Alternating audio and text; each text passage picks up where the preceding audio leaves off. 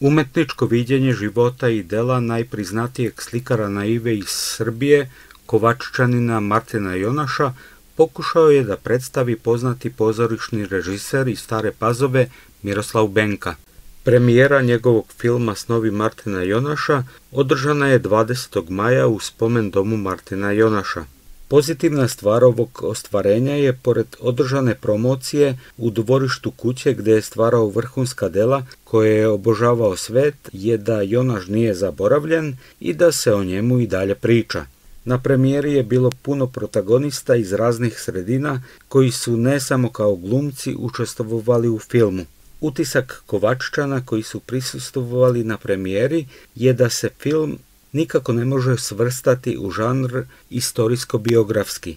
Naivna umetnost Slovaka i Srbije nalazi se u predvorju ulaska u svetsku kulturnu baštinu UNESCO i treba biti obazriv kako se zaista predstavljamo likovnom univerzumu. Stoga možemo kazivati samo o umetničkom viđenju pomenutog dela, ne i istorijskom, nikako ne i faktografskom. Maestro Martin Jonaš je inspiracija za mnoge umetnike, tako i za režisera filma Miroslava Benku. Apsolutno, pogledajte i ove grafike večeras koje su ovde predstavljene, pogledajte slike, da on je briljantan u, svoj, u svom crtežu, briljantan u svojoj likovnoj kompoziciji, njegove boje su fascinantne. Naravno, naravno, to je jedno od najvećih naših imena, a predstaviti se sa svojim delom u 52 države sveta, to je zaista, zaista impozantno i dobijati nagrade za recimo jednog Salvadora Dalija za svoj crtež, to, to je prosto...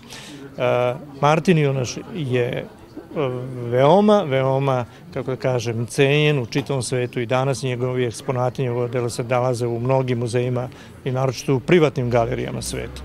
Koliko je Kovačica inspirativno okruženje za umetnike? Ne mislim tu samo na slikare, već i muzičare i tako dalje. Ja mislim da veliko. Ja mislim veliko, prosto ja imam jedan, rekao bih, e, kako da kažem, e, e, poseban, specifičan, senzibilan odnos prema Kovačici. Uvek se prisećam svojih prvih dolazaka kad sam bio još mlad, igrao sam u pozorištu, u Domu kulture. Kada ste počeli da snimate film i rekli ste na kraju da u stvari film nije završen? Ovako, mi smo počeli, prva klapa je bila u avgustu 2018. godine ovde u spomen domu Martina Jonaša i radili smo tri godine na ovom filmu ovaj, u više navrata i na više lokacije, oko 40 lokacija, čak bi sam rekao da je snimljen film.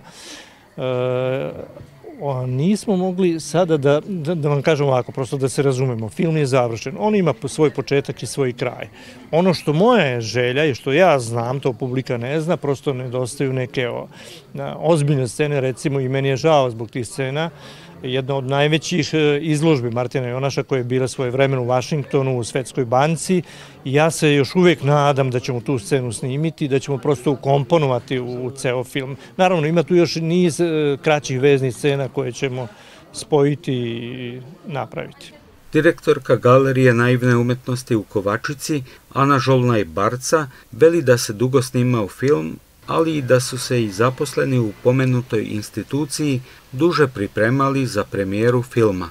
Dugo se snimao film, a takođe dugo smo mi pripremali ovu aktivnost za 220. rođendan Kovačice i uh, plašili smo se u slučaju da padne kiša ili da naše tehničke mogućnosti ne bi mogle da podrže eto, zahteve gospodina režisera, pa smo pripremili i izložbu grafika. U pitanju su grafike, 25 grafika, naravno autora Martina Jonaša, koje su u vlasništvu Jana Čehu, gospodina koji je vlasnik galerije Uramljene uspomene.